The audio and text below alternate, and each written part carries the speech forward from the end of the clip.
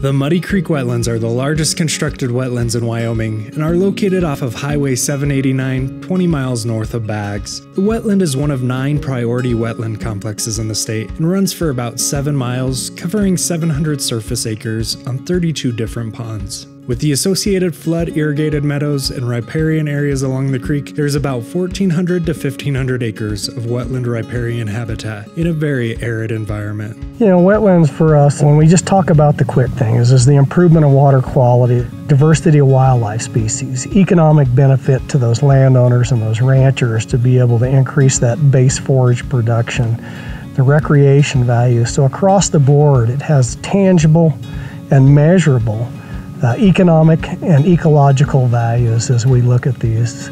Everybody's touched by this in some form or fashion. They are a veritable oasis for both wildlife, livestock, and people. You're going to see every species of duck that you would normally find in the state of Wyoming, but the shorebird composition is probably one of the most impressive things. So curlews, egrets, yellowlegs, willets, white-faced ibis, snowy egrets, we've had cattle egrets, uh, we've had one great white egret. We get a lot of early Arctic nesting birds that move through here, sanderlings, spotted sandpipers, uh, snowy plovers. Uh, in the last, say, eight years, we've had a, a flight of uh, tundra swans that will stop for a short time very early in the spring and then will come back very late in the fall before freeze up. You get the other avian species. This is probably some of the largest population of marsh wrens and, and yellow-headed blackbirds. In the state of Wyoming, we see things like bitterns and black-crowned night herons. Uh, sandhill cranes. And the other unique component about this is, is because these wetlands are situated right next to sagebrush, greasewood, uplands, as you will occasionally find things like burrowing owls, mountain plovers, sage grouse. We do have sage grouse that move in for brood rearing later in the summer, but you have that desert species assemblage right next to the wetland obligate species, which makes you look one way and you're looking at burrowing owls, and you look the other way, you're looking at white-faced ibis.